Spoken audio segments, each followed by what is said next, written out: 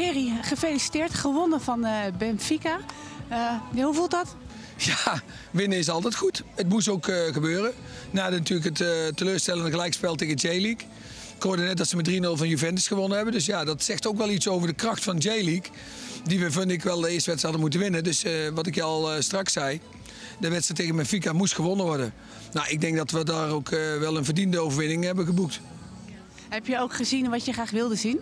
Ja, ik heb een elftal gezien die speelde voor de, uh, voor de winst. Uh, met veel druk op de bal, fris aanvallend, hoe we het ook graag willen zien. En ik moet de jongens een groot compliment maken uh, hoe ze dat uitgevoerd hebben. Ja, ik zei toen straks ook al tegen je, ik had het idee dat de jongens enorm baalden na het gelijkspel tegen J-League. Heb ze, hebben ze tegen elkaar ook nog wat gezegd? Nou ja, we hebben even geanalyseerd wat we normaal gesproken altijd doen na een wedstrijd. Even de puntjes op de i gezet, even wat aanpassingen gedaan.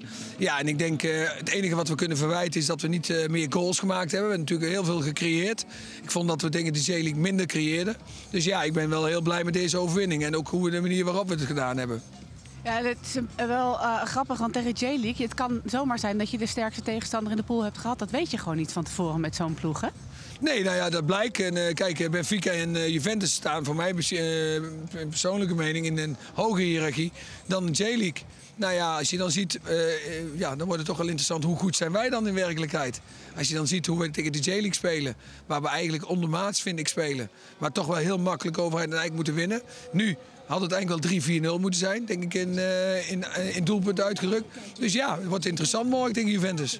Ja, en je hebt morgen aan één puntje genoeg. Want Juventus is uitgeschakeld en je staat nu met J-League bovenaan.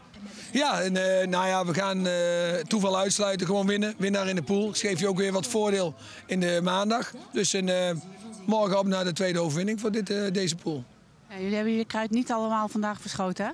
Nou, dan hadden we misschien wel meer goals gemaakt. Dus en, ik hoop dat er nog wel wat in, in die buskruid zit.